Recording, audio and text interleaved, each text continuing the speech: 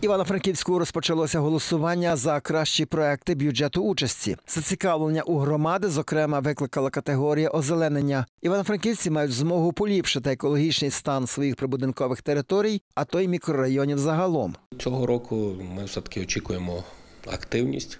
Активність, я думаю, що порядка до 30 тисяч е, мешканців Франківська візьме участь в голосуванні бюджету участі, можливо, і більше.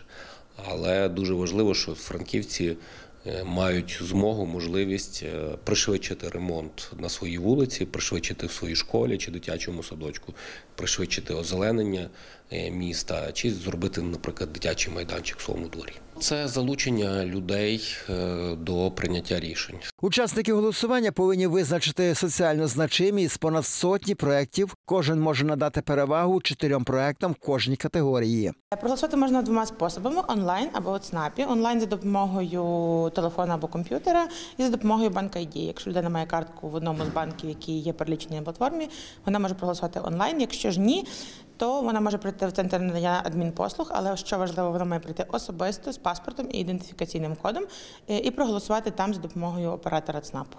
Один із проєктів за життя ініціював полеглий воїн Віталій Мєрінов. Його реалізують поза конкурсом. Голосування триватиме до початку травня. Михайло Березень, Геннадій Томнюк. Новини на вежі.